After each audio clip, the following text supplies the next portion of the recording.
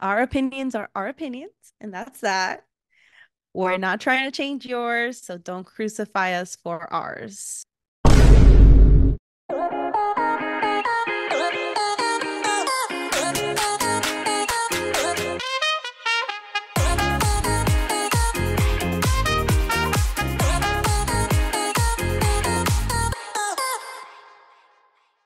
This is MIA 2K Podcast, and we are your ticket from Miami to Seoul.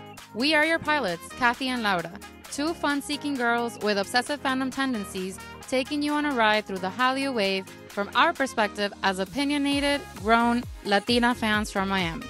Before we close the cabin doors, make sure you're following us wherever you listen to your favorite podcast. And if you like to watch, our in flight podcast video is available on YouTube and Spotify. Once we reach our cruising altitude, we'll be serving one thing and one thing only piping hot tea. We're ready to fly into today's topic with our hot and sunny takes. So fasten your seatbelts, sit back, relax, and prepare for takeoff. Hi, guys! So today we'll, we'll finally be covering one of K pop's most popular girl groups, Blackpink. We waited to talk about Blackpink because we wanted to know where they were going to land once their whole contract negotiation Lollapalooza situation was happening last year. and now that we know where their status is as a group, as well as where three out of four of them are going in terms of their solo careers, we thought that this was the perfect time to talk about them. Full disclosure, we are not blinks which is a way to let you guys know that our commentary and opinions will not be coming from like a fangirl point of view. This is the first time we'll be covering a group where we don't belong to the fandom, and we think that will provide the episode with a little bit of spice and also a well rounded objective perspective. Our opinions are our opinions, and that's that. We're not trying to change yours, so don't crucify us for ours. And with that, so, who is Blackpink? Blackpink, they debuted in August of 2016. They were YG's first girl group after 2NE1. They had a, and they kind of still do have a girl crush concept, which mm. is based on female empowerment and self confidence. All members did substantial work with existing YG groups prior to their debut. They were originally advertised as a seven to nine member group but when Blackpink debuted, they debuted with four members, and their four members are Jisoo, the oldest. She was born in January 3, 1995, which makes her 29 years old. She has a couple of songwriting credits, one for Yeah Yeah Yeah and Lovesick Girls. And to me, she's a fashion icon of the group. Makes sense. Makes sense. Then we have Jennie. She was born January 16th of 1996, which makes her right now 28 years old at the time of recording. She was born in South Korea. Then she moved to New Zealand until 15ish when she was deciding whether to go to the US to keep studying. And then she was like, actually, I want to be an idol. And then she went back to Korea and decided to audition. And Laura called Jisoo a fashion icon. I would call Jennie a controversial socialite, is what I think defines her in terms okay. of just everything that is around her. I think, and you you guys will find out towards the second half of the episode why the controversial adjective was used in this instance. And then she has lyrics and composing credits on Lovesick Girls solo remix and The Girls. The third member is Rose Rosie. She's born in February 11th, Mm-hmm. 1997. So she's a 97 liner. She's 27 years old. She was born in New Zealand, raised in Australia by South Korean parents, moved to South Korea after auditioning. She's a singer songwriter girly, kind of like Taylor Swift, Olivia Rodrigo. So that's like her vibe. Very that. And then finally, last but not least, in any stretch of the imagination, we have Lisa.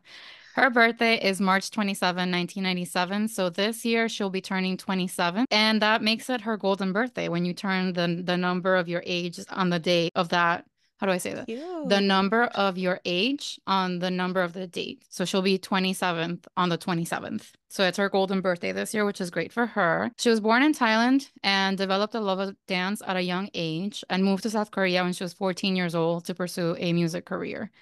She is the dancer, period. End of story. Enough. like nothing else has to be said.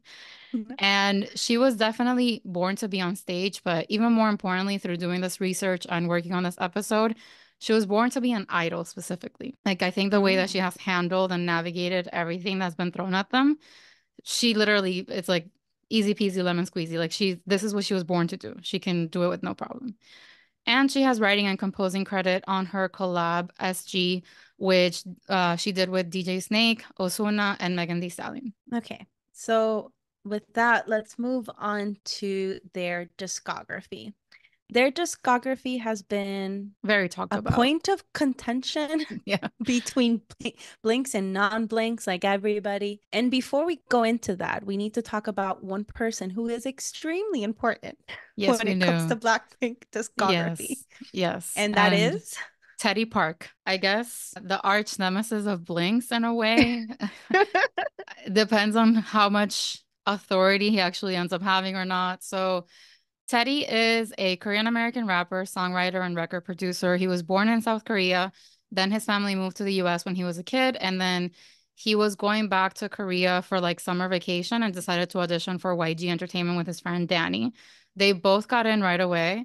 And then they were part of a group called 1TYM that ended up debuting in 1998.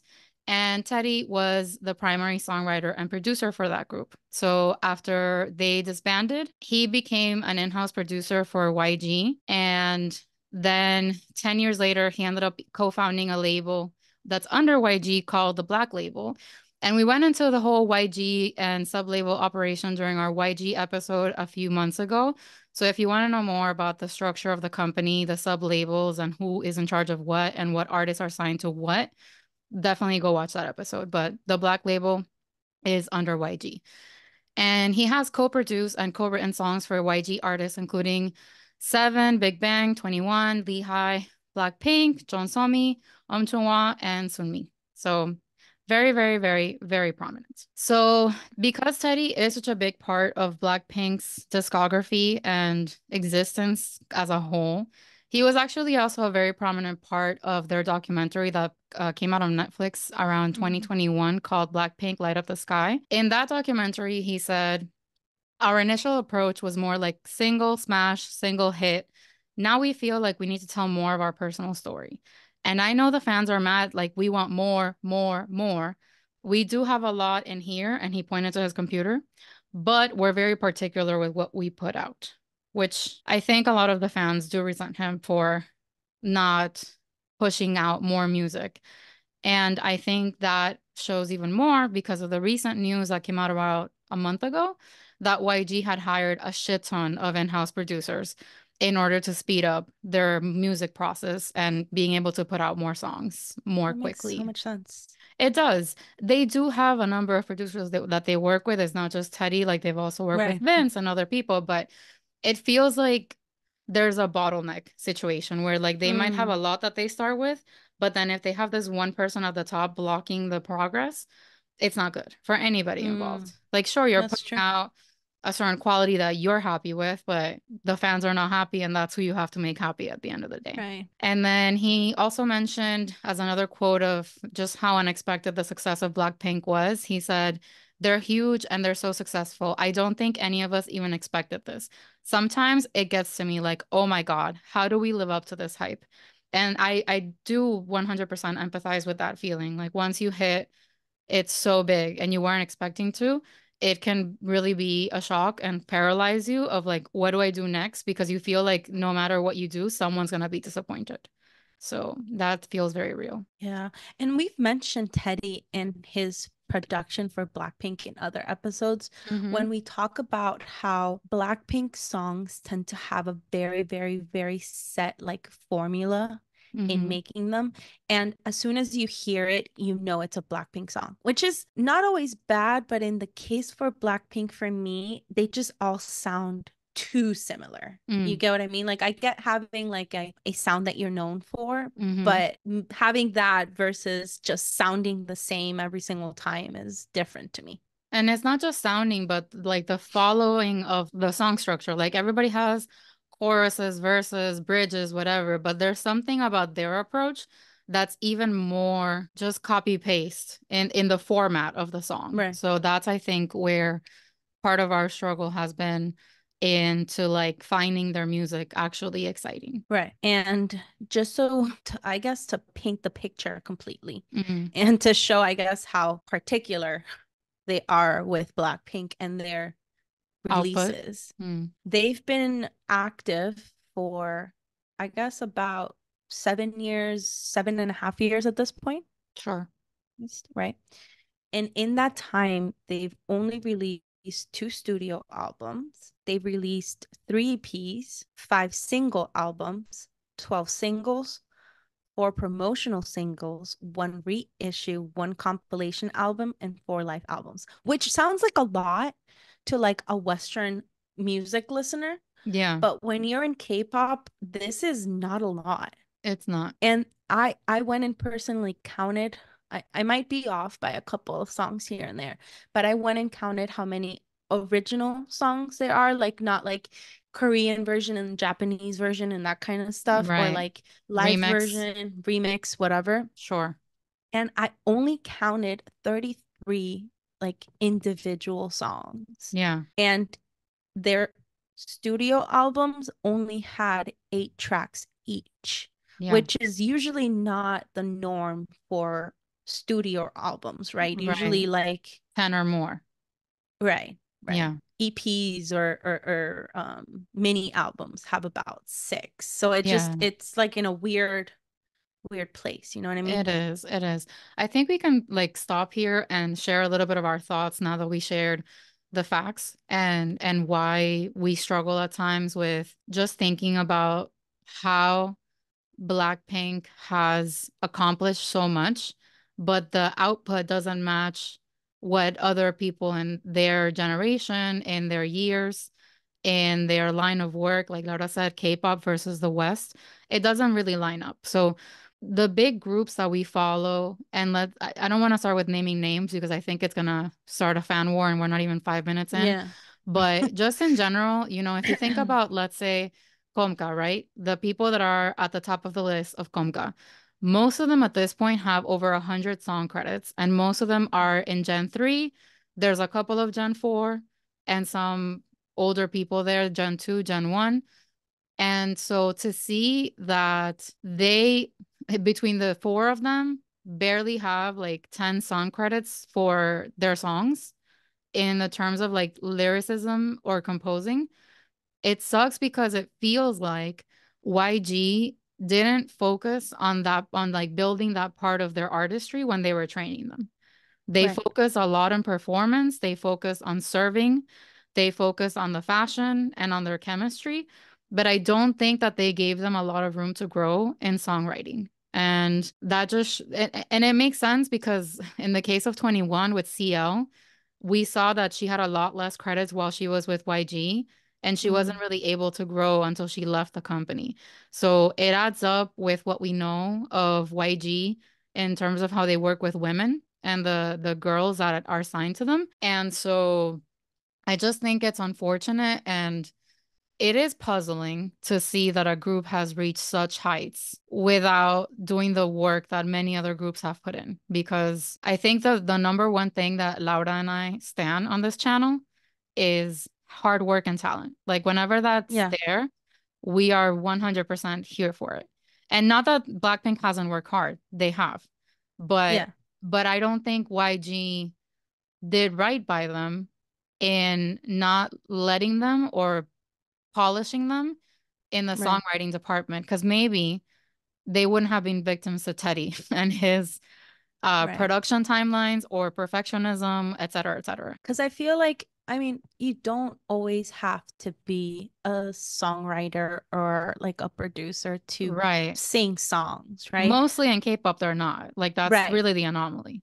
and, and we know and we know that an artist can be successful and show who they are without writing their own songs. Yeah. Like for example, not to name names, but Taemin comes to mind. Yeah. Like his discography, his output um artistically does feel like it's very much chosen by him or like a, a big part of it is because of him Yeah. He has a And brand he- and a sound that he can identify in the songs that are like shown to him. right Yeah. right and so i'm not saying all four of them need to do Right. these things but Yeah. i feel like for example rose she would want to do this Yeah. she's the one that is more musically inclined out of the four Yeah. she plays instruments like like i called her the singer songwriter Yeah. girly of the group Yeah, yeah. because that's that's the vibe she gives so sometimes it just feels like they did a disservice for her because they didn't allow her to grow artistically especially if if that's what she really wanted to do which I, at least that's the vibe that i get again we're not blink so i don't know that well but Yeah. that's the vibe that that at least she's trying to put out to everyone so That's what I was gonna say. It's not just that we're picking up on that vibe, that's what she's putting down. So I rewatched the documentary because I had actually watched it back in 2021 when I was just starting to like become more of like a K-pop interested person and I wanted to see how it felt from a different perspective now as like a seasoned K-poppy. And there's a couple like they do focus a few minutes on her in the studio and I think they recorded this Yeah. along 2018, 2019. So she's there with Teddy and Vince because she was. I. It's funny how she said it because she was like, "Oh, I asked Teddy if I could work with Vince," and it, it was kind of like she's literally a hostage to Teddy. Like they are hostages to Teddy, and they were looking to work with someone else just to explore what else they could do. And she was playing with chords that sounded really nice, like with like songs that she would like and people would like as well.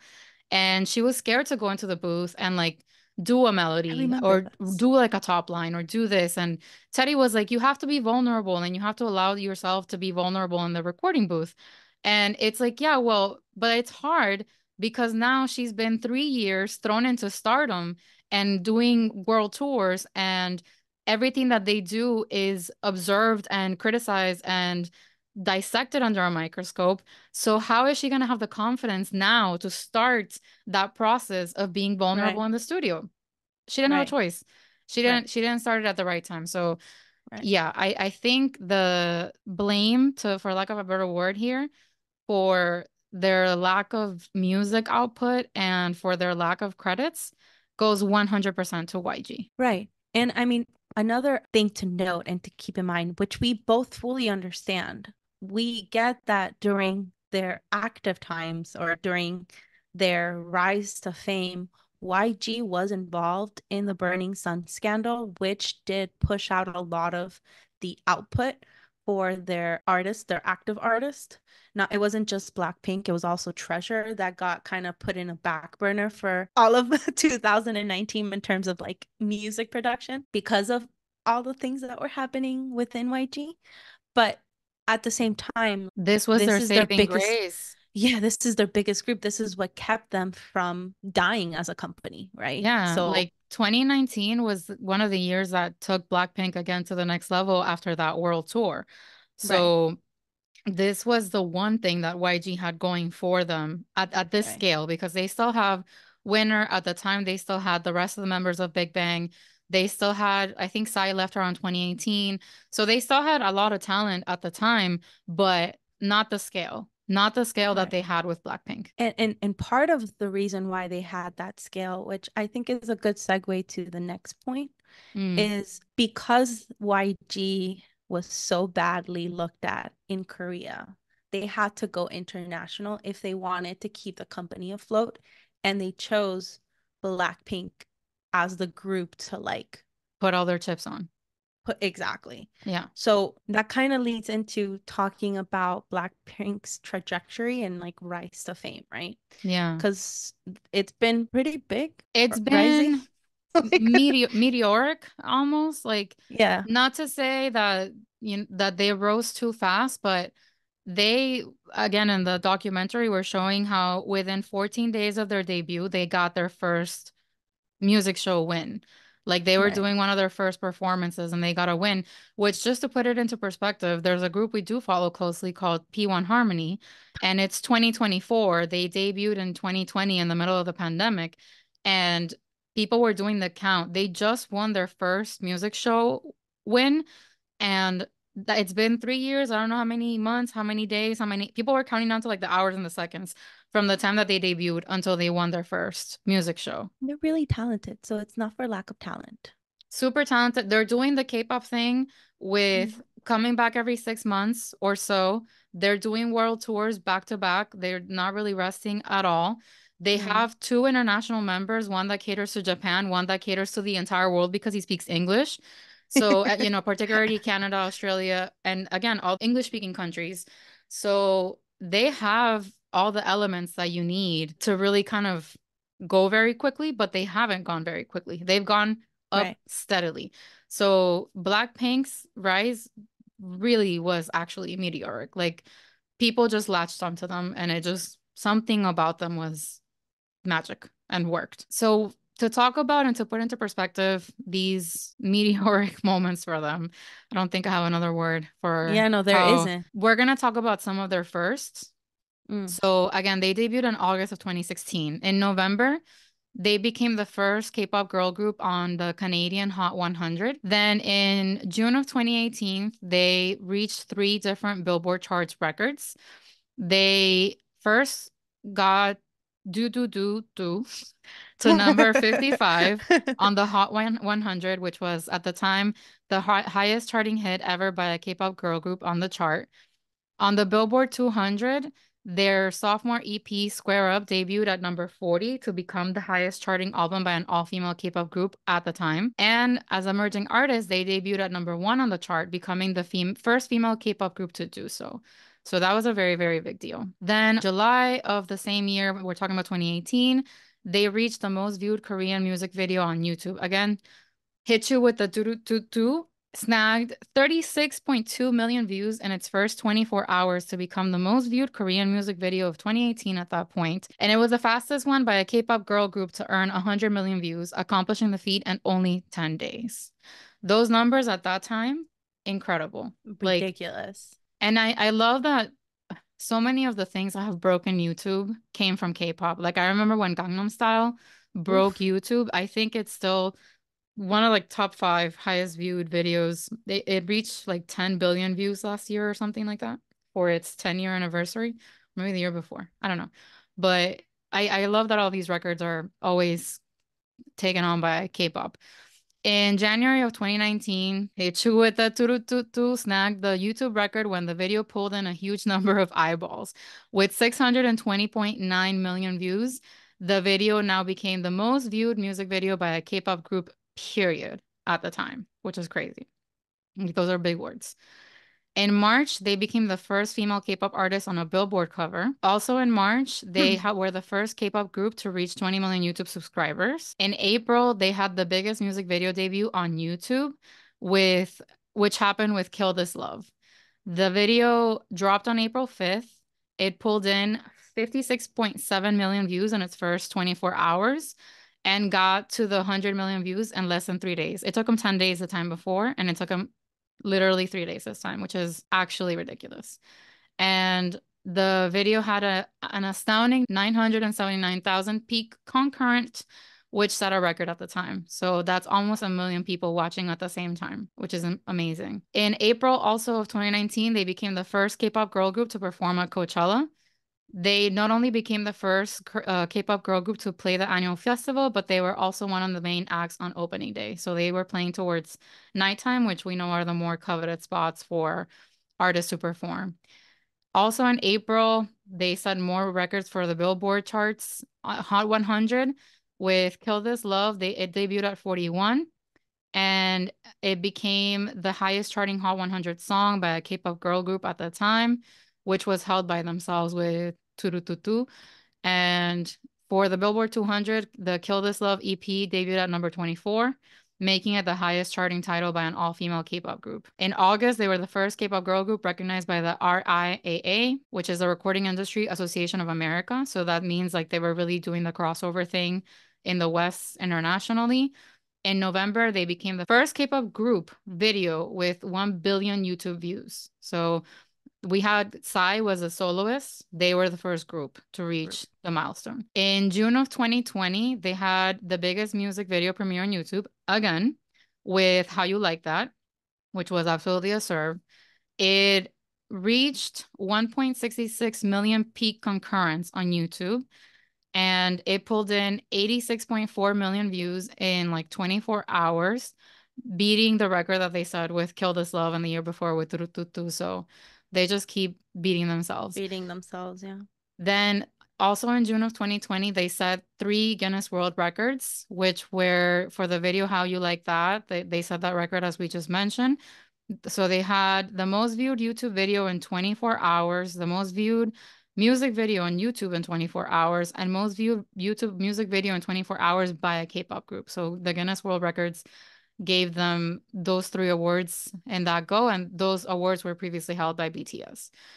In July of 2020, they became six act to surpass the 40 million subscribers, making them one of the musical acts with the most followers. They trailed only Justin Bieber, Marshmello, Ed Sheeran, and Eminem, which is a lot. Big, big names there. In July, they had the highest single by a girl group on digital song sales, which was How You Like That. Then in August, they were the first female K-pop group to win a VMA, which is a dream for every musician to be winning yeah. VMAs. I don't think that they had an award show that they could go to that year, right? Because it was 20, 2020. So yeah, there wasn't anything. 2020 was weird. 2020 didn't exist. We canceled yeah. it. Then September 2021, most subscribed artists on YouTube. So, I mean, the list goes on. The point here is to say they set some incredible milestones and they surpass themselves every single time mm-hmm. with every drop, which I think is the first goal that anyone should ever have. It's the competition is not outside, it's inside, it's, it's with within. you. So even with the fact that they weren't putting out a lot of music and the fact that they were hostages to their one producer, what they were putting out was resonating with the fans. And it all culminated in April of last year, April 2023, when they were headliners for Coachella this time. Correct. So it's crazy to me. It is. And we can stay also here a little bit and talk about Coachella just because I remember watching it. I made a point to watch it because, again, we're not blinks, but because we are K-poppies and because we do have a podcast, we like to be informed and keep a mm-hmm. an ear and an eye out on whatever is going on. So I remember watching it and I thought a few things. The set list was I think I still have the notes on my phone that I was taking when I was like watching the performance because I was like be very you. Yeah, that would be very me. To keep receipts and never delete things. Yes, that would be very me. So I was keeping notes because I wanted to send them to Laura the next day and be like, this is what I thought of here, Blackpink Coachella thoughts. Ah, this was like the last time that I checked it was, yeah, April 23 of 2023. Yeah, that's like that night that I wrote it. Yeah. So, oh, okay. So they had a drone show at the beginning, which was seven minutes, and it was super confusing what was happening. Like there was like a lot of cute shapes, but it lasted too long, and everybody was kind of like, "We just want to see Blackpink at this point." Like I remember I started writing down, but not, not I remember. I'm looking at the fact that I started writing down the shapes that the drones were making. I was like, "What the fuck is going on? Like, is this supposed to mean something?" There's a hand with a round orb, a snail, a butterfly. Like, is it supposed to tell us like what the set list is about? Like, I didn't understand what the drone show was about, but they literally took seven whole minutes from their show to start with some like drone shit, which I was not like appreciating. Then Blackpink has tapped Kiel Tutin. He's a dancer from New Zealand. He used to dance with Parris Goebel and then he went out on his own and they've tapped him to do a lot of choreographies for them. And so he, I think, I believe he choreographed part of their tour or like because the choreographers these days do also like creative direction. So I think he was the creative director for the tour. And then in the mm. middle of the tour, they had to do Coachella. So they redid the set list and redid the creative production part to give a different experience at Coachella. So he was there, he was dancing. I put camera work, but I don't remember if it was good or bad. Sorry about that. I put week two outfits versus week two. Oh, because I watched it the second week again. Like I really wanted to like form a, a very informed and uh, solid opinion here. I put Rose's uh, black shorts were distracting. Oh, because you know the, the whole like the black shorts under like the safety shorts. I'll never understand why they don't use like skin tone things. Because yeah, like it's just it just makes it sometimes it fits, other times it doesn't. You know, I it's probably not a wholesome reason. Yeah. No, it's not wholesome. I mean, well, for them Yeah. it makes sense because like their outfits were black and pink because black pink. Right, right. So like it didn't not fit completely, but I I, I made a point to write it down, Yeah, which means like it bothered me. So I think the first week they were not able to have the hand in sync when they came out to like like their opening pose, but the second week they were because I put it here. And I put Ah. sync and moves were steady at 80%. Mics were on, but the backing tracks with the live like LAR were pretty loud. I put fell for Jennie's seductive intro before how you like that on week one, hotter on week two. It wasn't a sea of blink bongs as expected. I remember being shook by the lack of of light sticks at Yeah, the yeah. event. And I'm sure some people were like, didn't want to carry their light sticks all day at Coachella. Totally Yeah. fair. But based on other festivals we've seen, like in Lollapalooza, there was TXT, we saw NewJeans, we saw J Hope. I've seen more light sticks at festival Yeah. crowds than what I saw that night. Yeah. And especially because it was nighttime, so you could see even more. And there wasn't And a lot of pink light sticks. Pink is pink is pink. It- like you and and pink. their light sticks have two bulbs on either Right, side. It's not just one. right, So it's double the light that should be coming from the crowd. And it wasn't there. stick. Yeah. I put I love the Illuminati stage because I think they had a lot of triangles going on.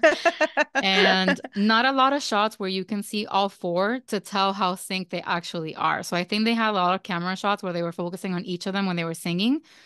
And uh, it feels like they're better with older songs, which makes sense. I put so I Right. guess like when they practice their choreos more back in the day, they still have that muscle memory that came back, but Mm. they don't they don't have that that chemistry or that glue with the newer songs, which again makes sense.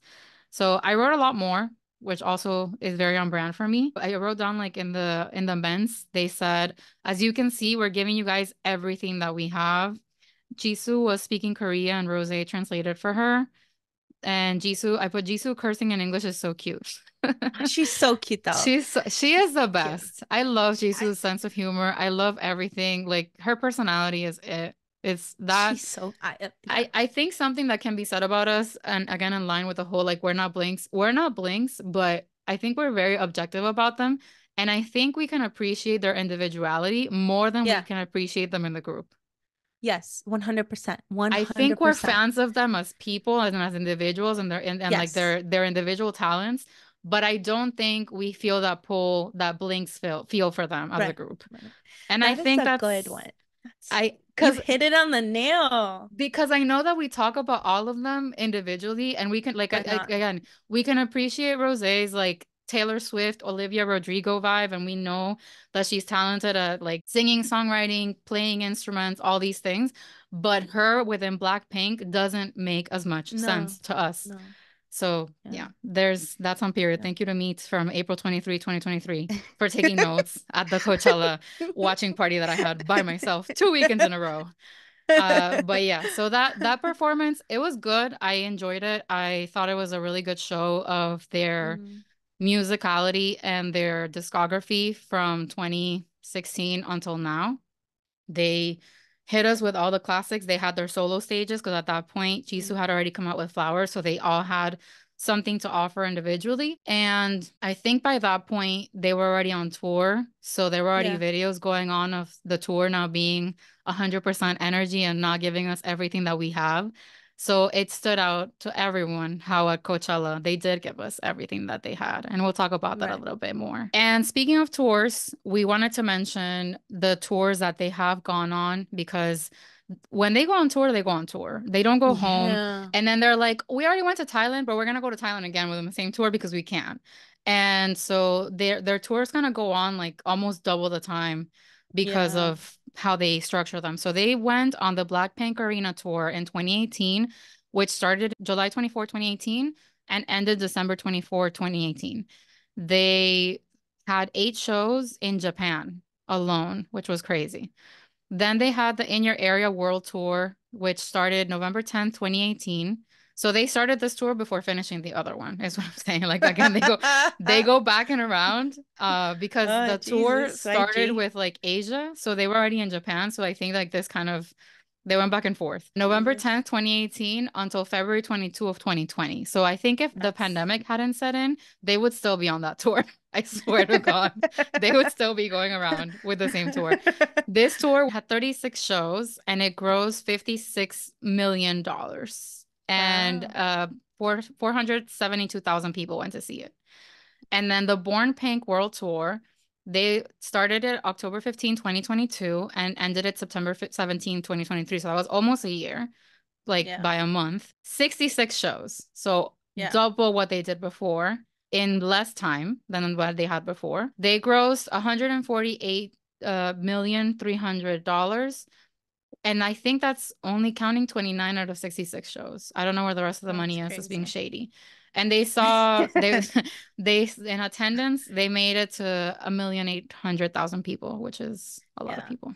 that that's why like we we can't i don't think anybody can or should say that they don't work hard like No, th- no, that's no. a lot of fucking touring like Yeah, and- fuck you up and they were they were exhausted. You could see again in the documentary on Netflix. They did focus. I, oh, I wanted to say this about the documentary on Netflix, if I'm allowed, Your Honor, please. Uh, may I approach the bench? I feel like when it comes to male group documentaries and Mm. female group documentaries, they paint different pictures. Like they want you to, they focus on different Yes. things. They had a whole two minutes that they focus on, like, our fashion senses are so diverse because blah, blah, blah. But we also look good together. And it's like, okay, and like, we know that. That's very obvious to me. And I was like, why did you waste two minutes of precious Netflix money on this shot? Like, I don't, I just don't get it. On them trying on black and, and white clothes. Like, on top of it, like, if they had been showing like a photo shoot or something avant garde in any way, yeah but it was like one of those like white button downs with like a black corset on top. You know what I'm saying? Like yeah it wasn't Mhm. giving what anything.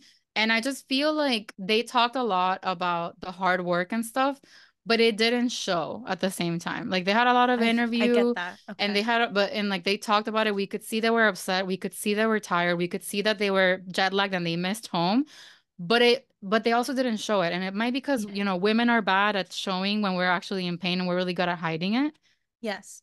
And it might also be what you said about like the difference in what they're trying to sell us with a boy group documentary yeah versus a girl group. Because in every single boy group documentary I've seen, you get shots of them coming backstage with the mask on and then the the sweat and the crying and the and I guess like they don't want to show them in that light. They didn't. They never want us to know that women could look like they're out of breath or sweating. like they just don't want us to see that. They, like that's my only explanation because You're if so right. someone should have footage of someone coming off stage tired, it's Blackpink. 66 shows in a year. Thank you.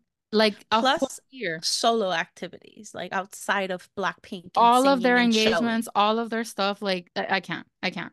So yeah, that that's, that's my note on the documentary. That's now you know any, everything about the tours, and uh, again, we'll touch on the tour situation now because we have arrived at the scandals. You guys know that on these episodes where we cover groups, when we cover agencies, we like to cover all the bases. And a very important base to cover is the scandals because we're all human and this is just part of the daily life.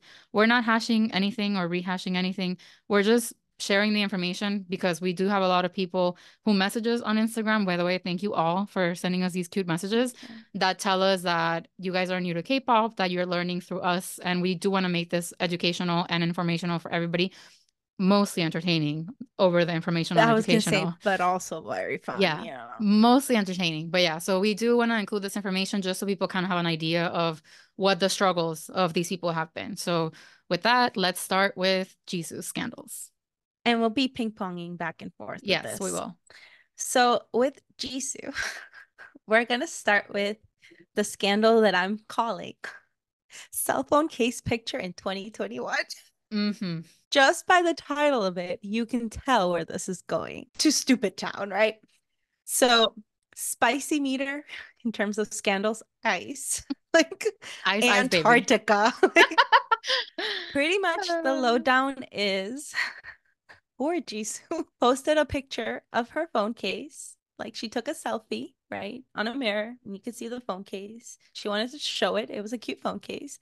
And people started bashing her, calling her unloyal, and all of these things just because she had been a spokesperson for Samsung. Please note that her contract had ended a full year before.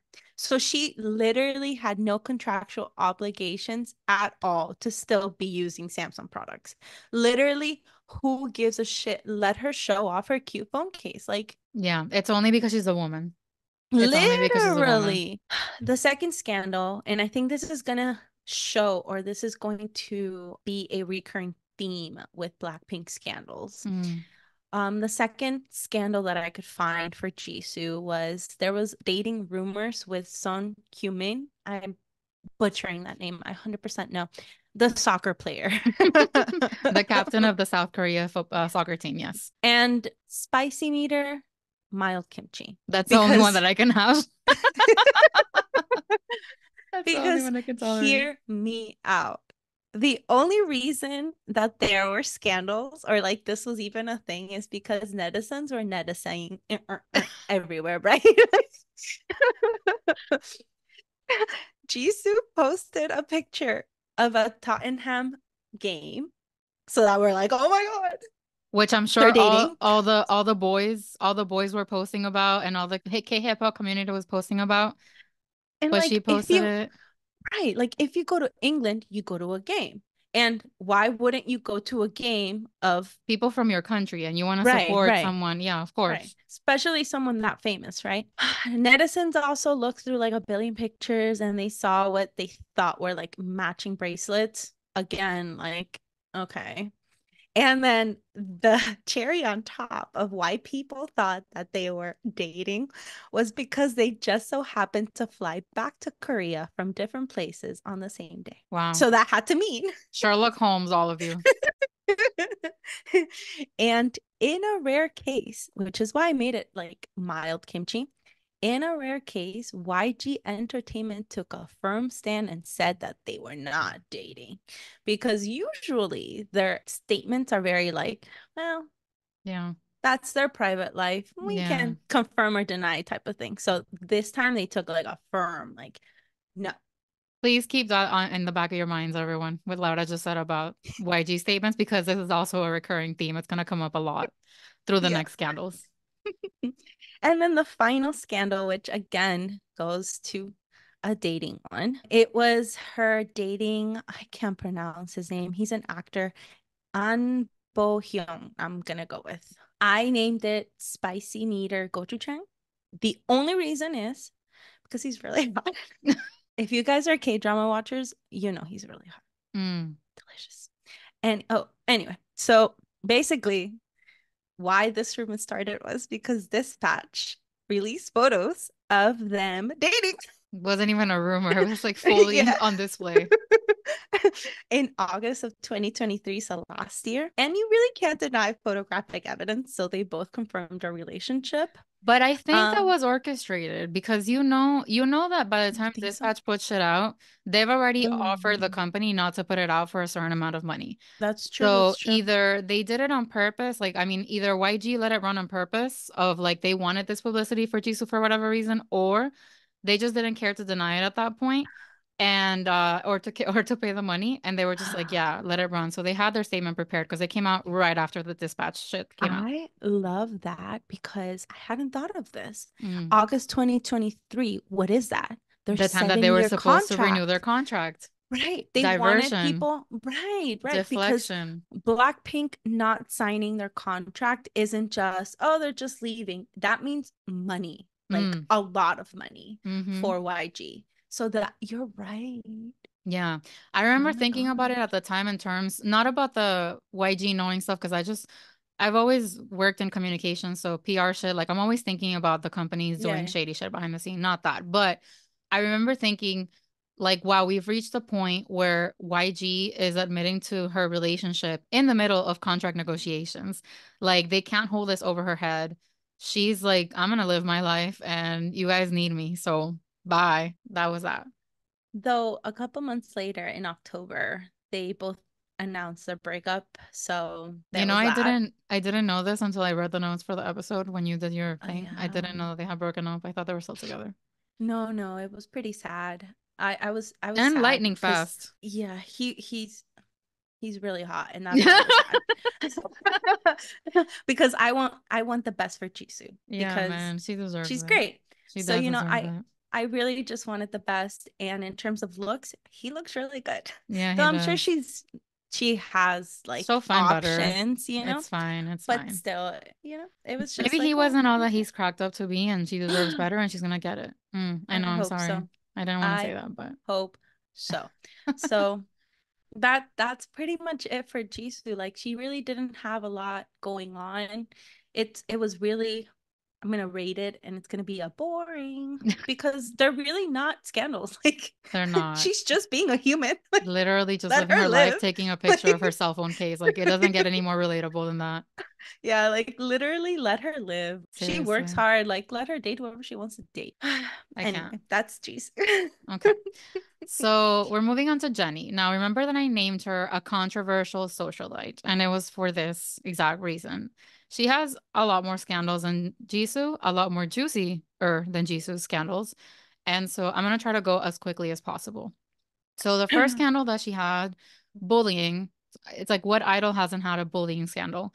Spicy meter, though, not even ketchup. You know how some people think ketchup is spicy? Not that. People That's- think ketchup is Some spicy. people do think ketchup is spicy. It's Question mark. crazy. Yeah. So the lowdown is Jennie was still a trainee, and then some people started saying that she had made discriminatory comments towards other Asians when she lived in New Zealand. But then no one really came forward confirming the allegation, so it died down. But then somebody brought it back up again, and then somebody brought it back up again later. So it's something that's kind of come back to haunt her, which is why I mentioned that we're not trying to rehash anything. We're just trying to mention the amount of times that these people have been dragged through the mud because it's I could not survive. I I could not do what these people do at all. Cue Frozen's Let It Go, please. Stop bringing this shit up. And that's that. Next scandal is sexy nurse outfit and the lovesick girls MV. Spicy meter is the DNA tests are in and you all need a heavy dose of BFFR. Okay, be fucking for real. Thank you. So okay, no, there's there's actually one point of validity here. Okay. So when the video came out, there's a scene where Jennie was dressed in a sexy nurse outfit, like very Halloween style. Some people were saying on Reddit it was like a psychiatric nurse, and it was like very people were complaining about different things. So once the fans like started talking about it, it just became like a big deal. But it got so, so, so big that the Korean Health and Medical Workers Union ended up criticizing the video. Now, keep in mind, Mm. this is where the one valid point is at. This video came out in 2020 at the peak of the pandemic when uh, health professionals were struggling, okay? Like, Yeah. it was a really tough time. Their mental health, physical health, everything was at a low. And then it's like people don't take us seriously. There's people that are denying the vaccine, people that are denying science, and we're already not taken seriously. So this video actually didn't help our cause. Right. So they had a very valid claim in that regard. Like I don't I don't care what the fans thought or didn't think. Like I think they're complaining for no reason.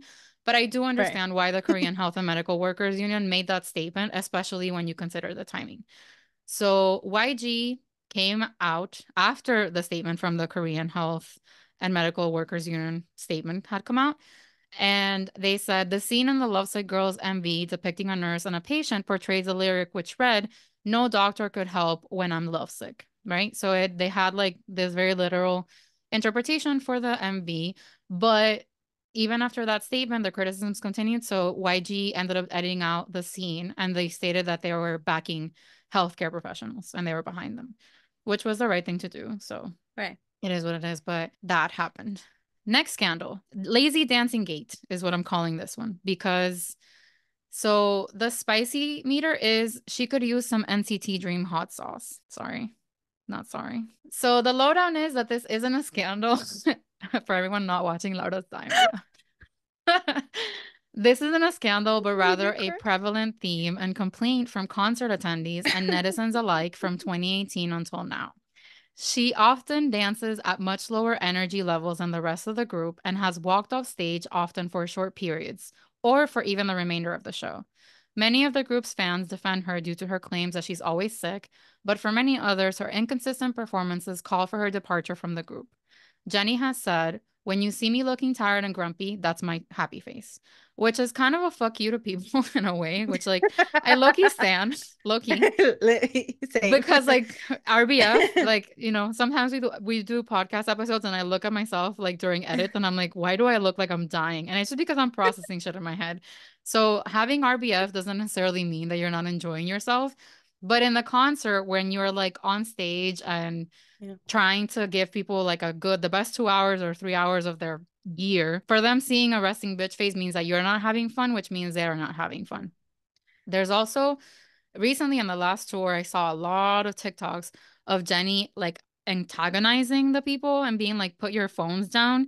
And it's like, that's how people enjoy concerts nowadays. You can't really tell yeah. them to put their phones down because, like, she's done it at some concerts for like a song, like this song, everybody put their phones on. I don't want to see a single phone, whatever. But she mentions it a lot. She says it uh, like throughout the cities. And at the end of the day, like those videos are the ones that end up making it on TikTok, criticizing right. her for her lazy dancing. So there's another motive you could say for her request for putting phones down. And if you go to our blog after or during watching this episode, there's a TikTok that I included of someone being extremely shady and putting the percentage challenge with Blackpink. So you know when like groups have a comeback and they're like someone's dancing at 150%, someone's dancing at yeah. 10 and someone's dancing at 1. Well, Blackpink was not participating in that challenge. They were doing a normal choreo, but it almost looks like they're doing the percentage challenge yeah. because they're all on different pages. So if you want to look at that, definitely check out our blog. You'll find a link from the description below. So and I was gonna say this doesn't really just apply to Jennie. This also applies to Jisoo and Rose. They also get slapped with these allegations. Yeah, dragged. Um, so yeah, Jisoo Jisoo is nicknamed Stiffsoo very rudely by people because she's not as fluid as uh, Lisa.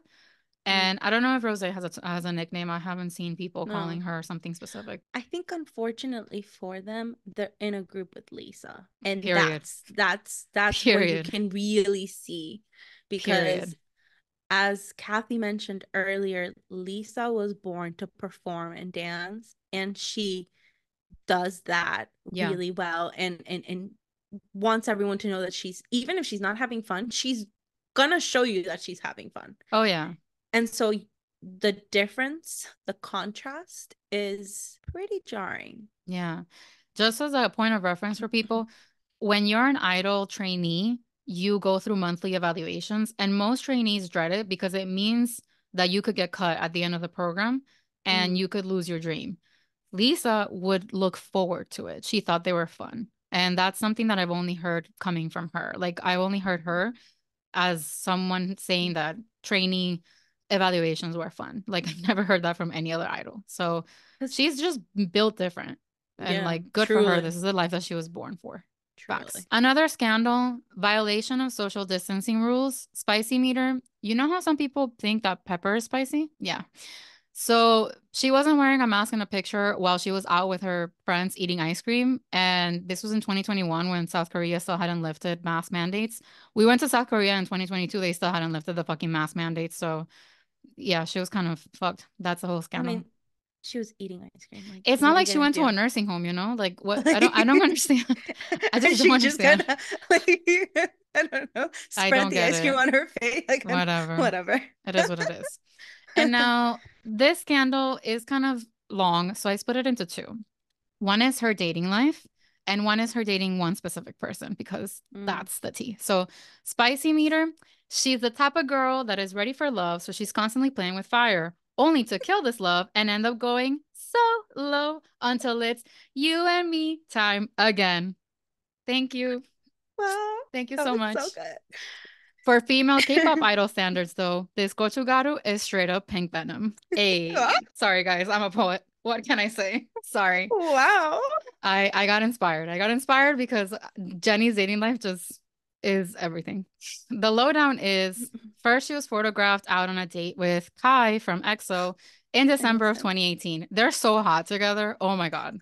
They're so hot. I miss hot. him so much. I miss him terribly. he has like another year and a half left. I'm gonna die. So they were photographed together while out on this date in December of 2018, which led to death threats for mo- both of them, but mostly on her side because Korea is very sexist and misogynistic. So of course, love that for us. YG in typical YG fashion hid under a rock and left SM to confirm the relationship. the relationship actually ended up ending shortly after in January, literally the month after. Like, I don't think they survived the publicity of it all. And they said that it ended because of their schedules. Like, we just couldn't match together, which makes sense because it was around the tour time. So she was probably never in town. So that was that with Kai. Then Dispatch claims that Jennie started dating G Dragon in February of 2021. They were caught going on routine secret dates at G Dragon's villa in Seoul. And then in May of 2022, he reportedly unfollowed her on Instagram. And that's how we all got confirmation that they were no longer Allegedly. friends. dating. I didn't hear about the dating like rumors. Well, Crazy. and then this is what leads them to the next scandal, which is part of this one too. Ooh, So it. this is the scandal of Jennie dating V of BTS. So if you don't know That was this, huge. if you haven't been on Twitter, if you haven't been on social media, there's something that's a part of K-pop that I despise, which is fan wars. Okay. Yeah. And if there's a fan war that is hella toxic, is Blinks versus Army. And when these rumors started, Twitter was hell. Okay. It was not okay. I was not okay being on Twitter. So spicy meter, not even dispatch touched this one, okay? Maybe because I bought them, but that's different. Allegations or whatever. Anyway, so the lowdown is after BTS got individual Instagrams in December of 2021, V accidentally followed and immediately unfollowed Jennie on I Instagram. remember that. He went to Weverse, which is BTS's Google because they come to us shit all the time there. And he goes, Is there a way to get rid of the recommended friends list here on in this Insta thing? It's a scary app. He's so funny. Yeah. Okay. fucking comedian. Fucking comedian. okay.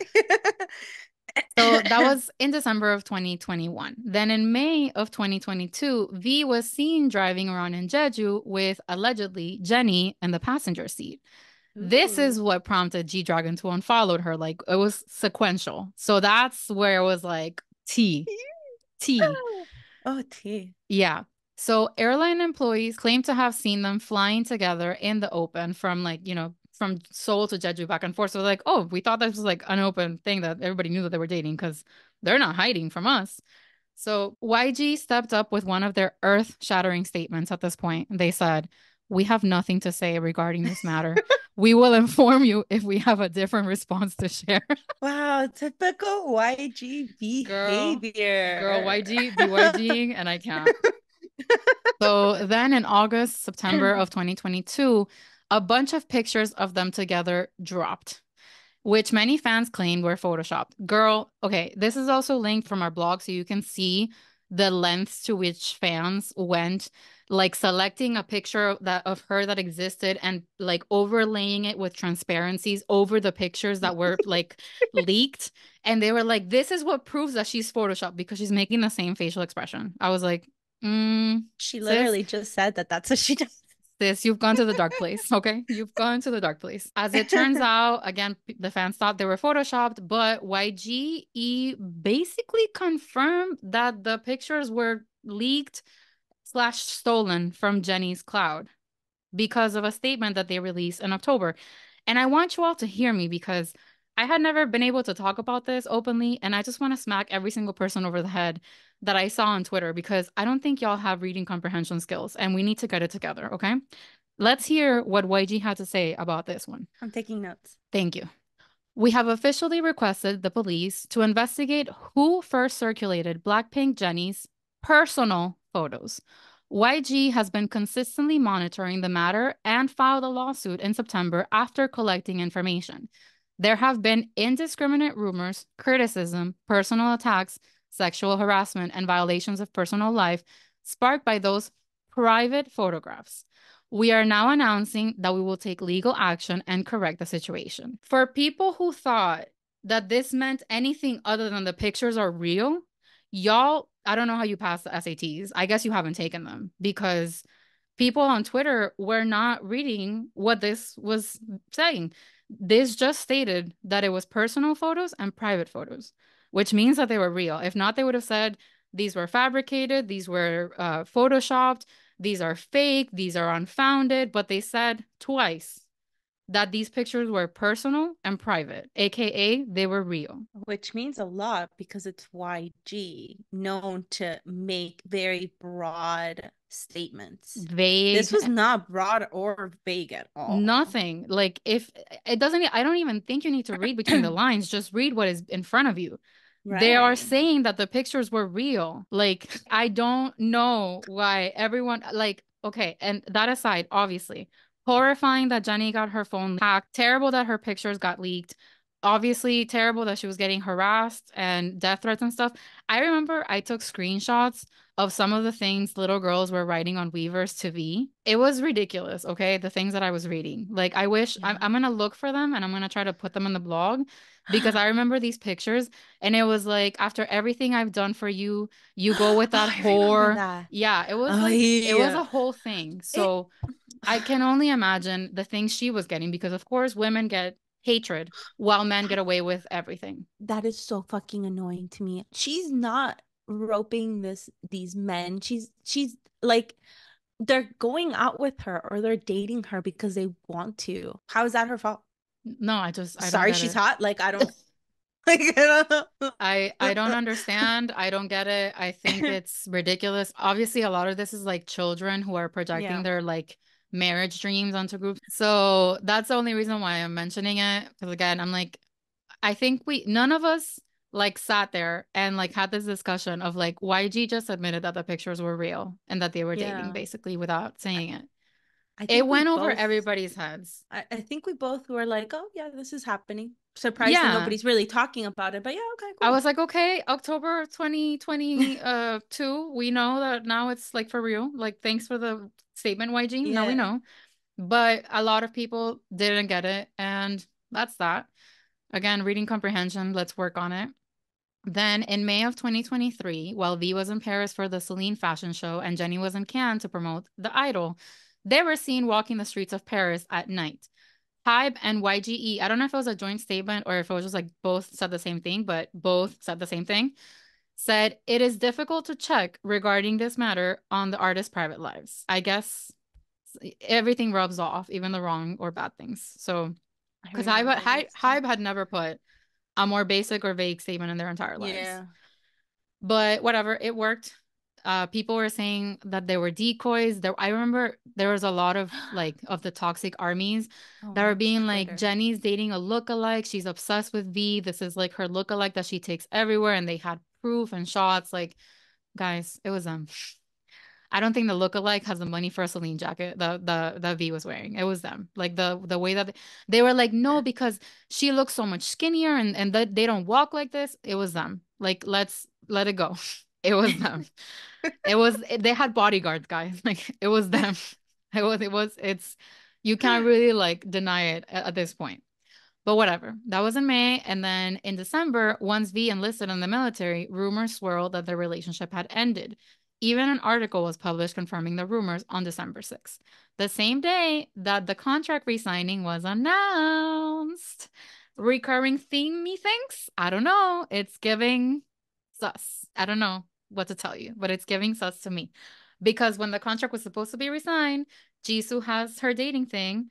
And then when the contract was actually resigned, Jennie's news come out that she allegedly broke up with V when the relationship was never officially confirmed. I don't know how to spell it out, sis, but it's a lot. And the funniest part about this is that at that point, once a breakup was announced, then some fans, and I don't know if they were like pro or against relationship at this point, were in denial about the breakup because they started pulling receipts of like Jennie posted a picture of food on a table that looked like the table at V's house.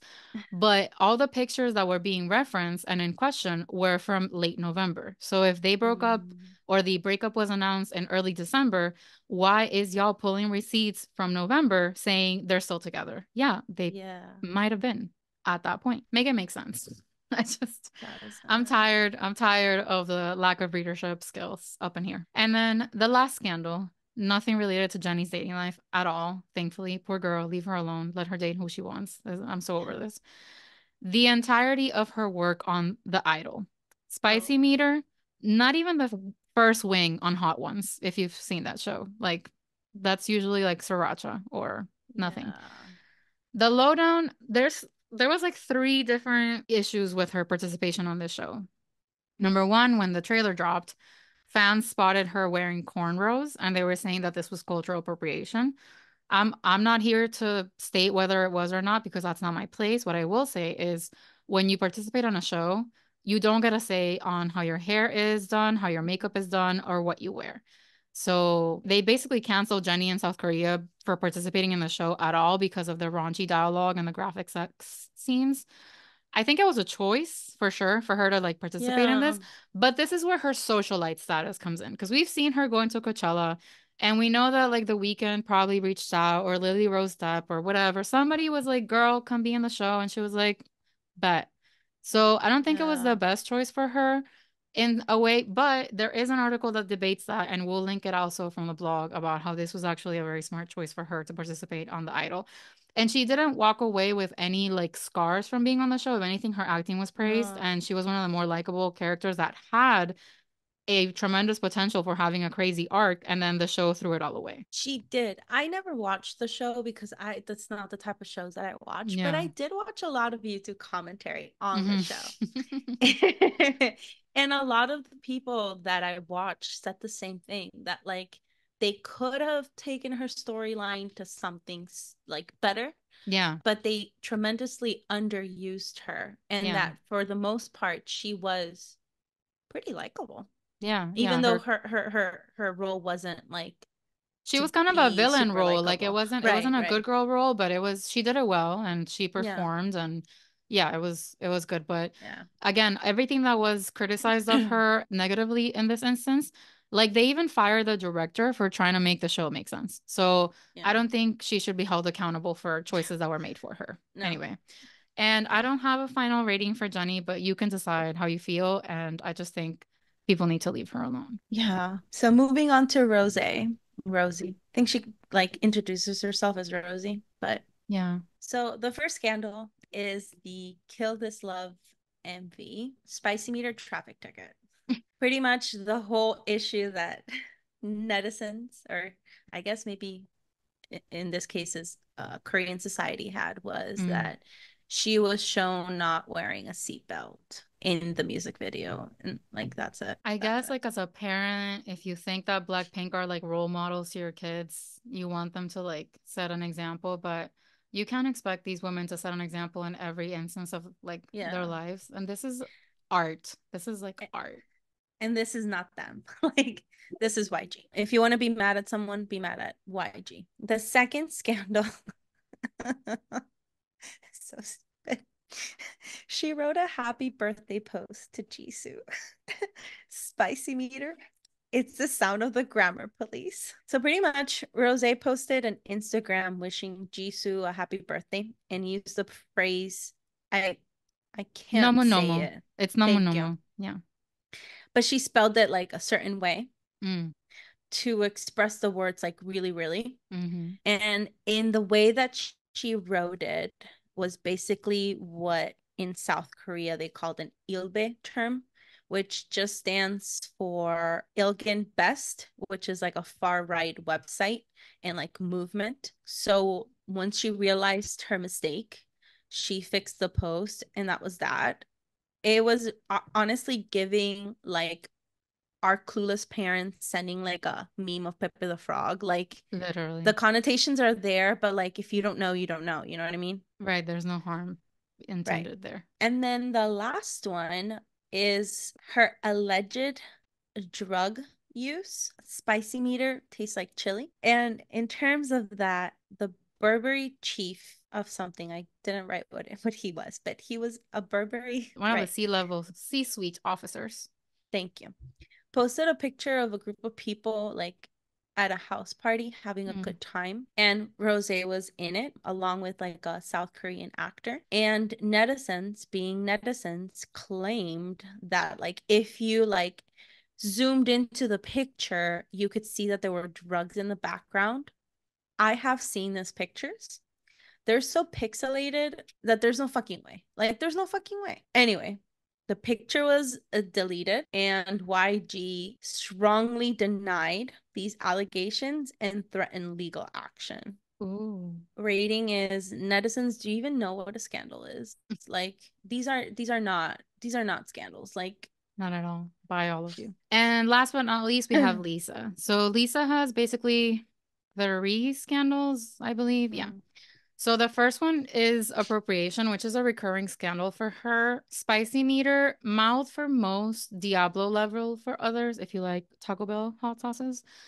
And so I want to address this with sensitivity because, as I said earlier, most of these appropriation scandals don't affect us, don't involve like Hispanic people, Latin heritage, Hispanic heritage. Mm.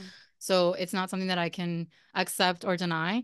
We're just kind of like talking about the situation. In some instances, things have been clarified. In some instances, things have been distorted and blown out of proportion completely unnecessarily. And in other instances, people were right. And so I think we can talk about all of them with decorum and just objectively. So Lisa was accused of cultural appropriation several times. One time was for wearing box braids in her Money music video. She was also accused of appropriation when people said she wore a do-rag in the Kill This Love music video. Now, the caveat here is the director, whose name is Anthony King, is black, and he posted photos of the stories because he was getting flag, I guess, from people because when they mm. saw her wearing the which which turned out to be a scarf, not a do-rag, they were saying that it was appropriation because she was not black and she shouldn't be wearing a do-rag. And he said, um, I've worn a do-rag my whole life. I know what one looks like. This is not a do-rag because if it doesn't give me waves, it's not a do-rag. And then he posted another story going into a little bit more detail like I as a black man, if I had seen her wearing a do-rag, I would not have shot this video. It's not a it's not a do-rag. It's a scarf. Like I'm guaranteeing you as a black man, I know what it looks like and that's not it. So that was cleared up. People are just ignorant or I don't know, but love to sound the fire alarm for no freaking reason, cry wolf, and then when the wolf actually shows up, no one's gonna believe you. And she also was called out for wearing a quote unquote metallic do rag. Guys, it's called chainmail and it's a medieval thing. You can't appropriate medieval times as a whole. Like, can we can we get on the same page about what things like if you see mesh created out of metal rings, it's called chainmail. It's a, it's a thing. It's used as like a fashion statement. It was a medieval thing. I don't know if there's any roots somewhere of this being a racist thing. I, I don't.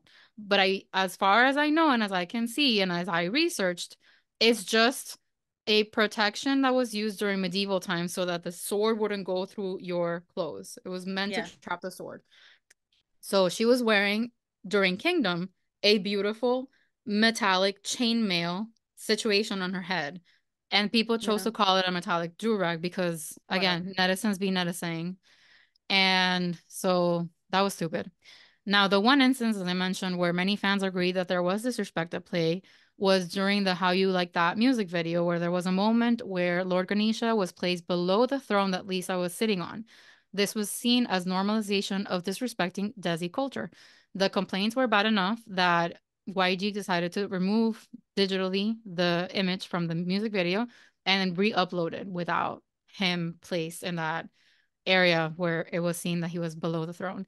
And even the New York Times got in on this one because clout, of course. I think again, this is another thing where I know Lisa did not participate in the set design of like the props and things like that.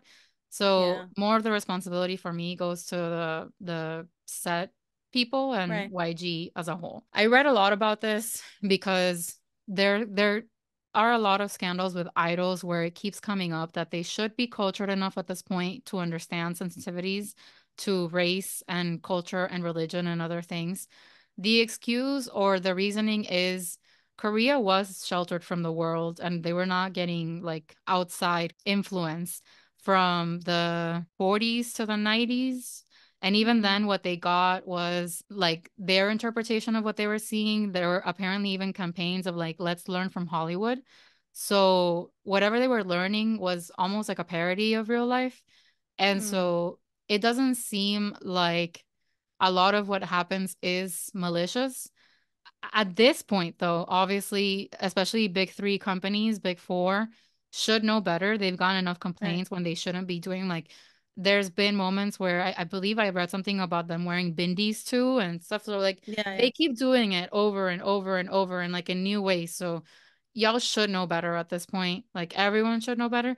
I think companies should make it a part of their training time, not just about looking sultry with your eyes, but like if you're gonna be touring the world and going to other countries, you should know what cultural sensitivities there are. Like They should really have a DNI council, they should. something because Yeah. it affects their bottom line. Yeah. I mean, aside from it being terrible, but also like it affects their bottom Financially, line. it's just smart. Yeah. So it doesn't make it. I've never understood why they don't do this they should have people on the reg, you know? on on site at all times, making Yeah. sure that no one's gonna get offended. Like there's And- cultural experts for this. and I, I'm not trying to, I guess, take responsibility away from artists, Mm. but for stuff like this, where it's not on their person or it's like a music video that is not their solo work, but like as a group, Korea also has a very big culture of respect for like authority figures.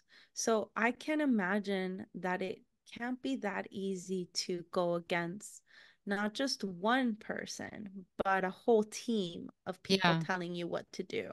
Absolutely. So Again, this doesn't apply all the time, and there are times where they're appropriating like consciously, yeah. but sometimes, sometimes I think the big issue goes to the company and not the idol. yeah, I'd say the majority of the But- times for sure. Anyway, Her next scandal is a little bit more fun, and I I know it, it's hard to talk about the dating scandals because I want them to live their personal lives privately Yeah. as they choose, and I, I don't want to talk about this like I'm a tabloid, but that caveat, this relationship to me is very fun.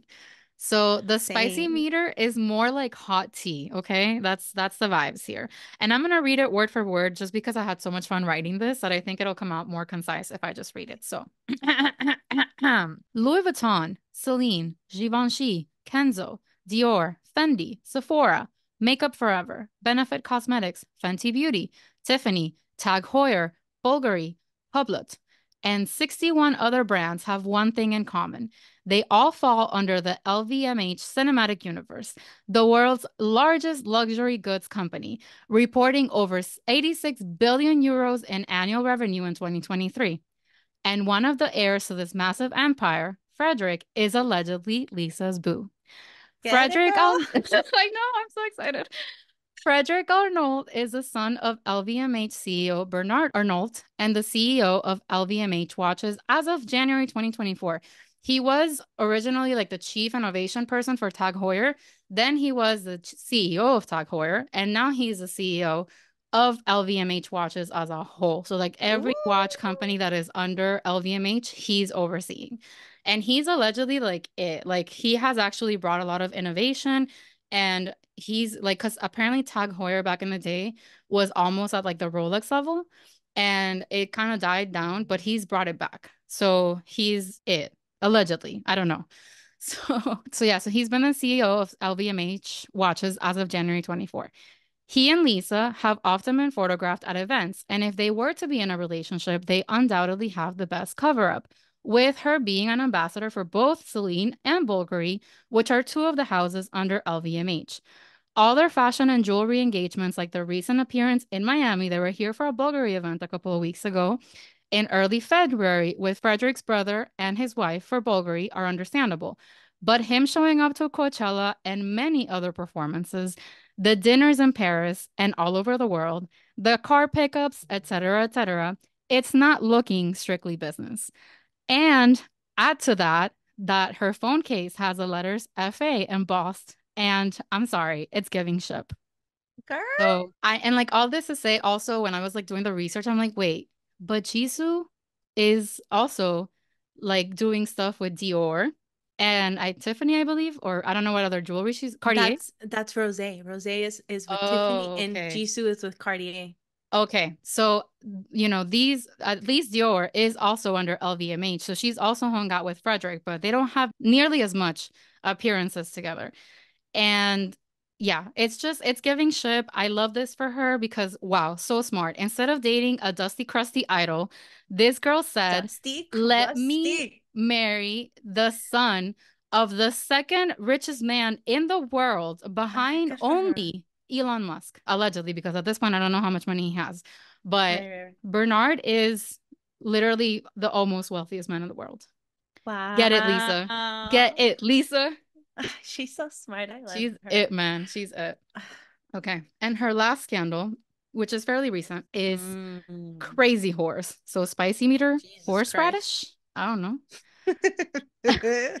The Lowdown is a Parisian cabaret known for its stage shows performed by nude female dancers and for the diverse range of magic and variety turns between each nude show and the next, called the Crazy Horse Saloon, was the home to Lisa for a mini residency. It was like a like a weekend, a couple of shows, like a, over a week. And although she did not partake in a nude performance, China, the country, has extremely stringent policies against shows that promote obscenity and nudity.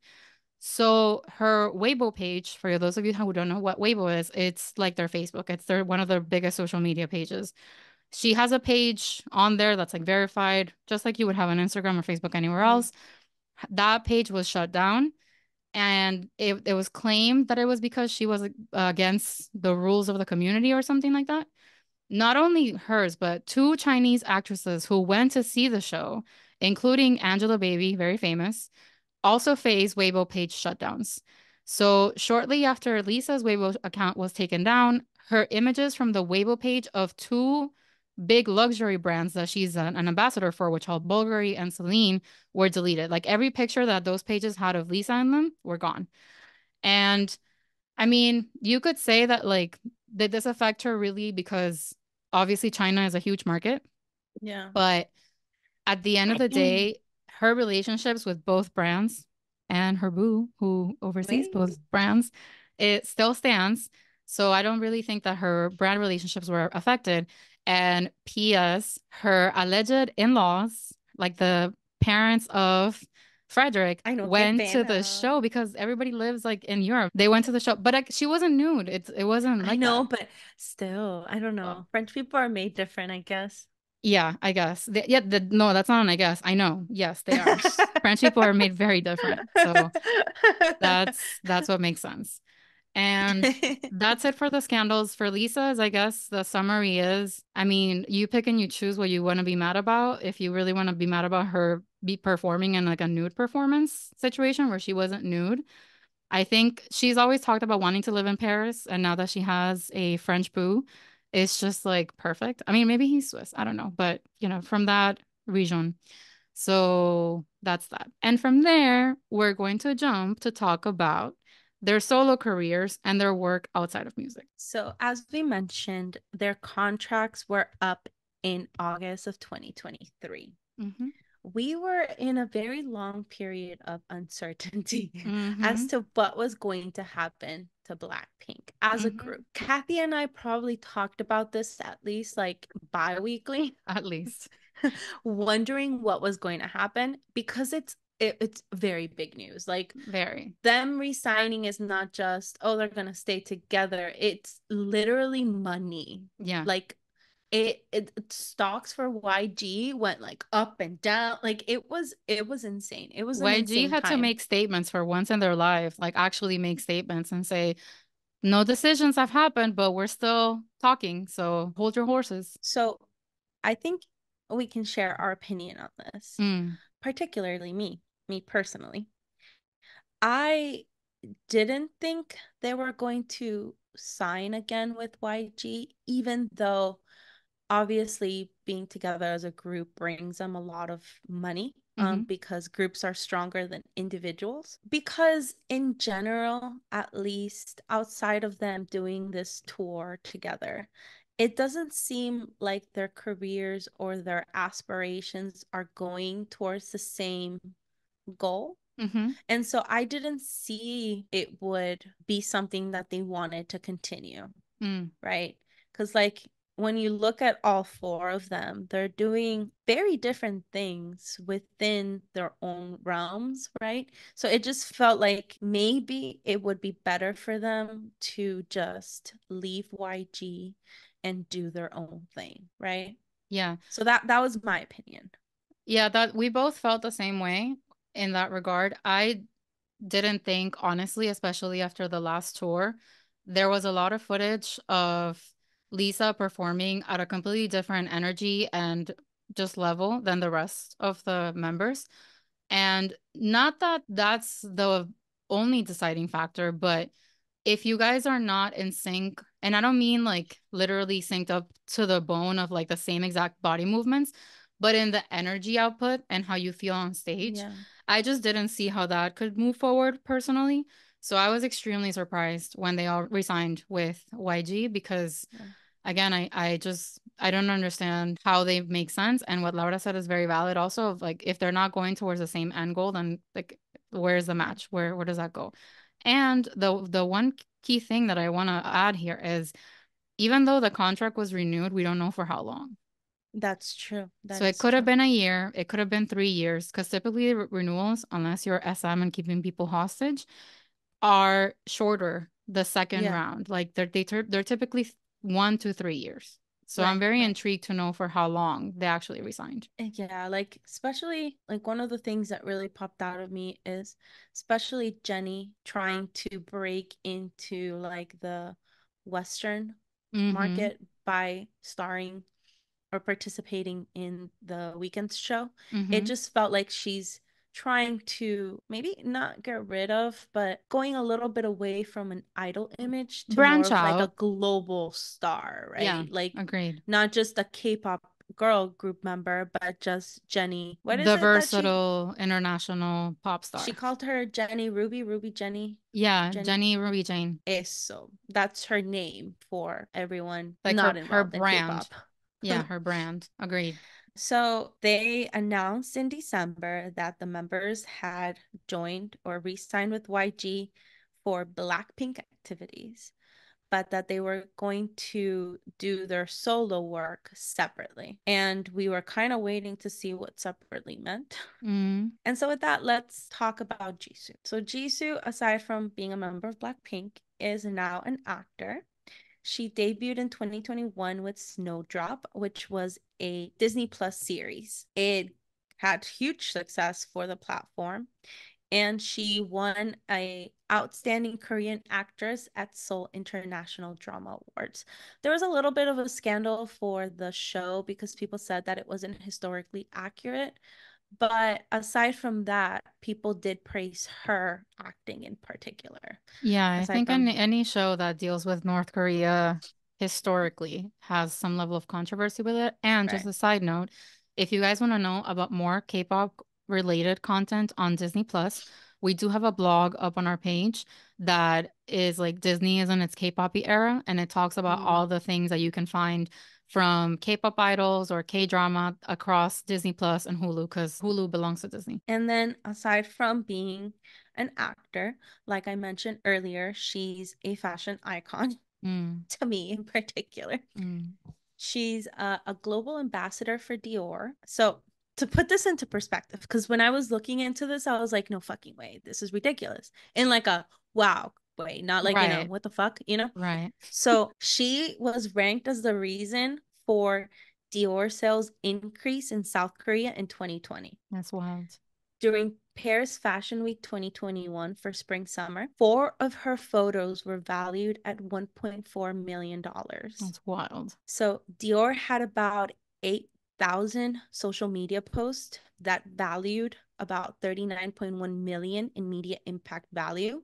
That's crazy. And out of those 39.1, 15.7 million came from two of Jisoo's posts. That's wild. Ridiculous. That's wild. Ridiculous. She uh, is also a model for Cartier. She is a style icon for women in South Korea and like K-poppies in general. They pretty much emulate all of her looks. And she continuously ranks on the top 10 for individual brand reputation rankings, like continuously. Mm-hmm. She's done multiple endorsements with Dyson, Samsonite, LG Electronics, Nikon, just to name a few. In 2023, she debuted uh, musically as a solo artist with her single album Me. The title track Flower was the most expensive Blackpink music video per YG Entertainment. See. Rolling Stone ranked it number 67 on their list of the 100 best songs of 2023. The music video, as of yesterday, February 20th, has 469 million views. And she won at Mama 2023 Best Music Video and Best Dance Performance by a Female Soloist, which, if I can just pause. Heavy dose of BFFR. Yeah. Like, again, I don't know if you guys can tell, but I really like Jisoo. However, I know her limitations, and dancing is not her strongest suit. Her strongest suit. So naming her best dance solo performance when 2023 was the year for the girl groups and the girl soloists. So if you just think about everyone that came out with songs in 2023, I'm just gonna go knock knock. You know what I mean? Knock, even knock. even if we are not talking about her, it's just the choreography was not all that. Like it to wasn't. start with, like the song is very slow and the choreography wasn't crazy. So I could do it, and that's how you know it wasn't ridiculous because exactly. I could do it. Like anyway, I still love her. She's great. Yes. And actually, just today, February 21st, Jisoo announced officially the opening, the start of her own entertainment company for her solo activities called Blissoo, which is a mesh of Bliss and Jisoo. Love that for her. Makes sense. Allegedly, it's under her brother's company, Biomom. And we had little bits of like teasers here and there when Blissoo posted a job ad with Jisoo's picture, and her stylist posted photos of Jisoo and like wrote Blissoo underneath, like in the caption. So it it was like not even, I guess, that much of a secret. Uh, some secrets in Korea are truly like everybody knows. We're just not going to talk about it and pretend when someone turns all the lights. Surprise. Yeah. Okay. Well, with that, we move on to Jennie. So, Jennie was the first to debut solo when it came to music in the group by releasing the straightforward solo, a minimalistic pop single that showcases both her sweet timbre and sassy rap lines. Mm. It topped Billboard's World Digital Songs charts and became the most viewed music video by a female Korean solo artist within 24 hours on YouTube. She hasn't really had an official comeback since, but she has been performing the the solo that she released very recently called You and Me as part of the set list for the Born Pink World Tour. And aside from that one, Jennie and Lily Rose Depp arrived triumphantly at the top of the Billboard Hot 100 for the first time thanks to their collaboration with The Weeknd, one of the girls from HBO's The Idol. I mean, I think TikTok really helped with that one because the edits yeah. like gave it everything. So the song was released in June of last year via HBO, XO, and Republic Records. Debuted at number 100 with 6 million US streams and 1.5 million radio audience impressions from December 15th to December 21st. So that's her solo music part. On YouTube, Jennie launched her YouTube channel called Jennie Ruby Jane on her 25th birthday, which was January 16th, 2021. Within 24 hours, she accumulated over 1.75 million subscribers and became the second most subscribed YouTube user within the time frame, following a Brazilian singer called Marilia Dias Mendonça. And Jennie Ruby Jane official surpassed 10 million subscribers, making her the only K-pop soloist to achieve this feat. Nice. And then just like Jisoo announced today, Jennie had her moment as well with Odd Atelier.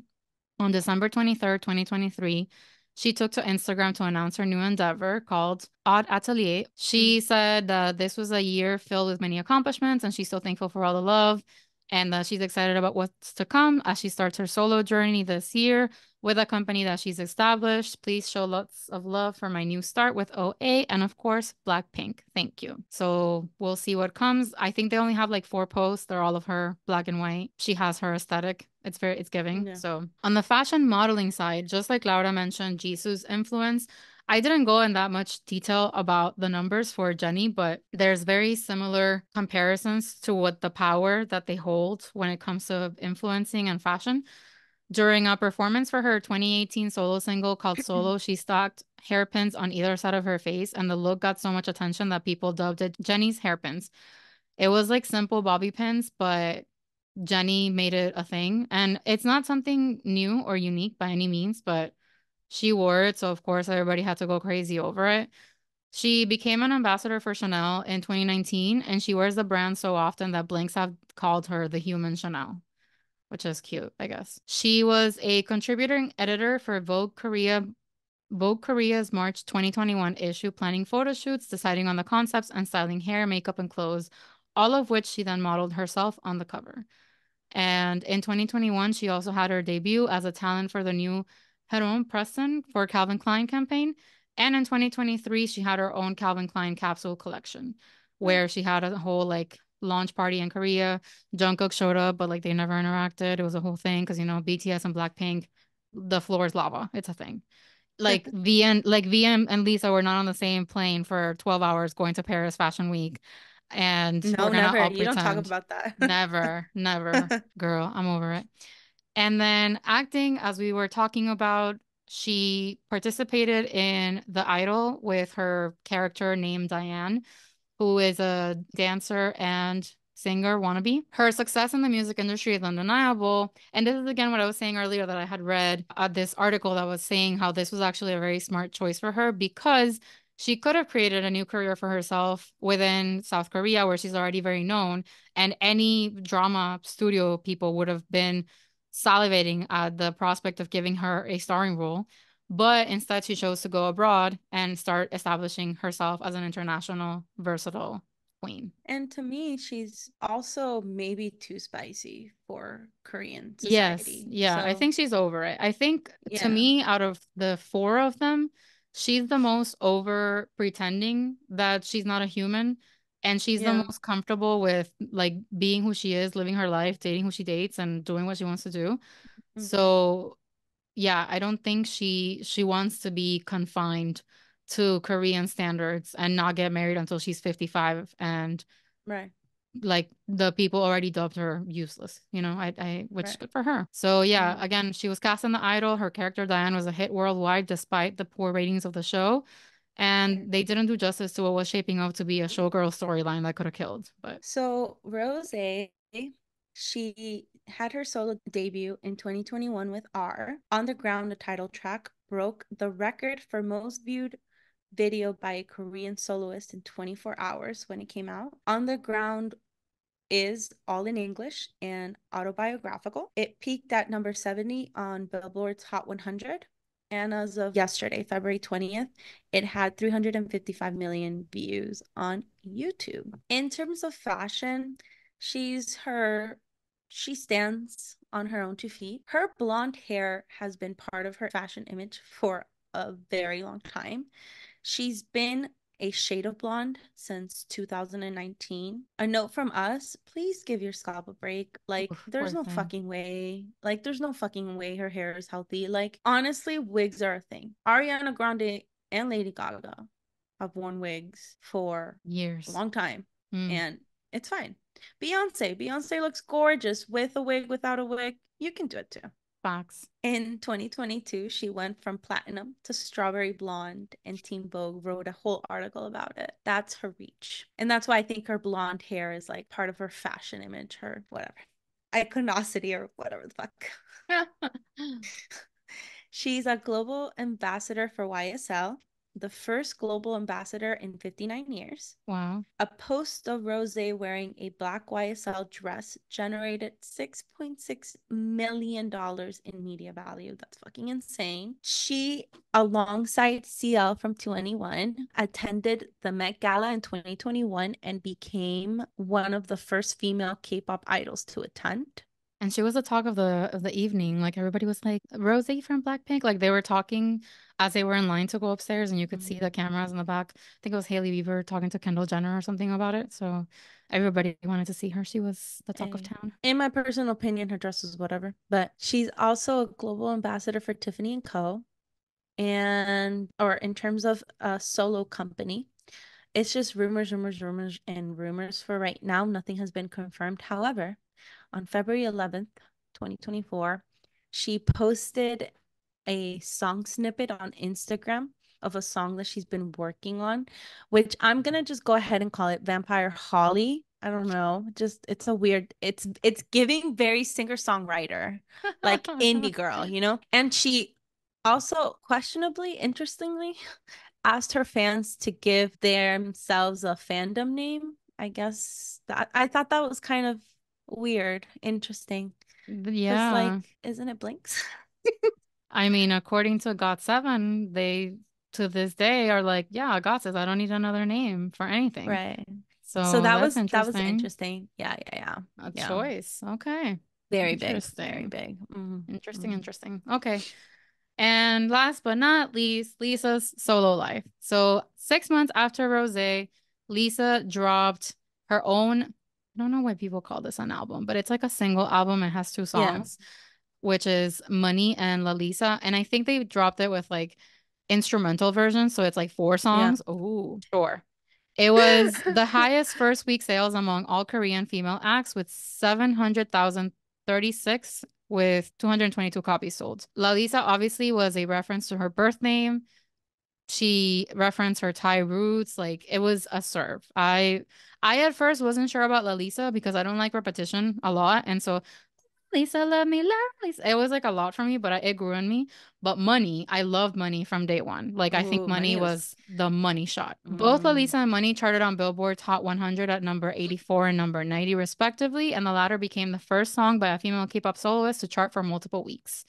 Later on October 2021, Lisa furthered her global appeal by co-writing and co-composing on SG, which was a Moombahton collaboration with DJ Snake, Ozuna, and Megan Thee Stallion. In 2022, she became the first solo K-pop artist to win both an MTV Video Music Award for Best K-pop Video for Lalisa and an MTV Europe Music Award for Best K-pop. Which is mm-hmm. kind of rude because I don't consider her solo work K-pop. I mean, maybe Lalisa because it had some Korean in it, but Money was completely in English and it wasn't giving K-pop.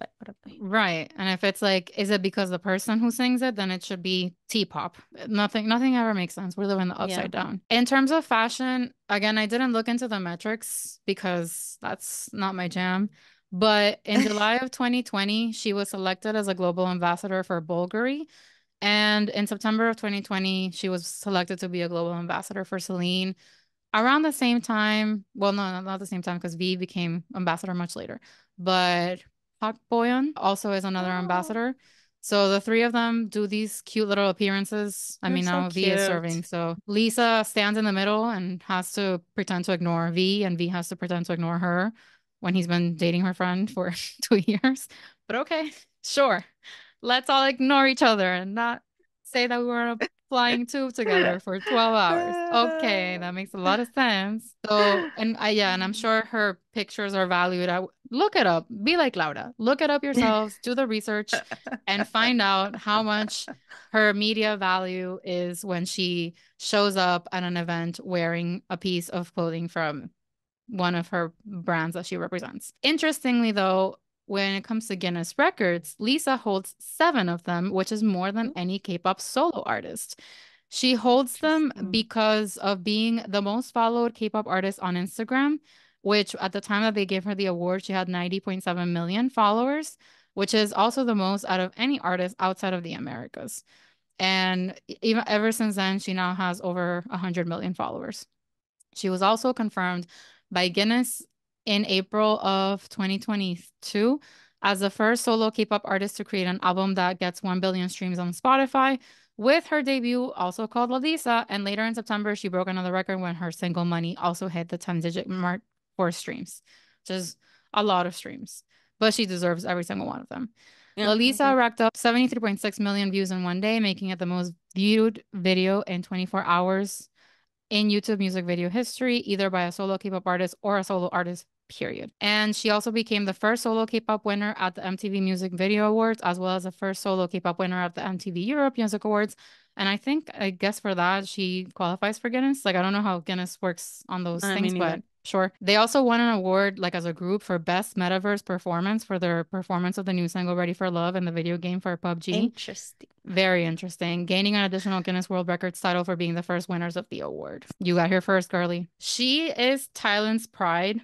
I wanted to look into this more deeply, but there literally is so much information. It would take me half an hour to go over all of the endorsements, ambassadorships, and everyone else that is throwing money at Lisa in Thailand. Like whenever you go there, it's either Bam Bam or her on every billboard ever. And it's mostly her. But I'll name a couple of specific highlights. AIS, which is the leading telecom mobile operator of the country, was rumored to be her first major sponsorship in Thailand in the eight digits, which was a huge deal. And then she had a Thai endorsement deal with a food company for what was estimated to be around $440,000, which is a lot of money. Then I read somewhere else that they said that like her fee two years ago was $600,000 to like be an ambassador or, or promote literally anything, which is a shit ton of money. Just for promoting something. Just for promoting something, like for taking a picture with something and a product and calling it a day.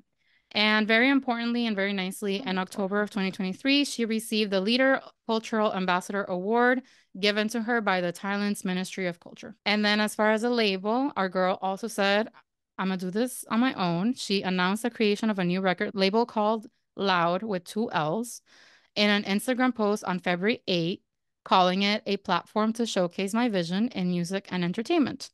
There isn't uh, concise information just yet on whether it's going to be just her signed to this place or she's going to sign more talent. I think she will sign more talent. But the newest development that has come up as of the last couple of weeks is that Lisa is also going to have her acting debut by joining season three of The White Lotus alongside Jennifer Coolidge Didn't know that. and a Shit. couple of other know that. actors that are uh, very well known and and the show won a lot of awards during this past award season and so That's amazing. yeah good for her Oh, i think she made a better choice than jennie in terms of picking shows to do abroad if you ask me so yeah that's that's our girl lisa I like her. She's great. I guess I hadn't come to the realization that we're not really blinks, but we really do like them as people. and their talents individually Yeah.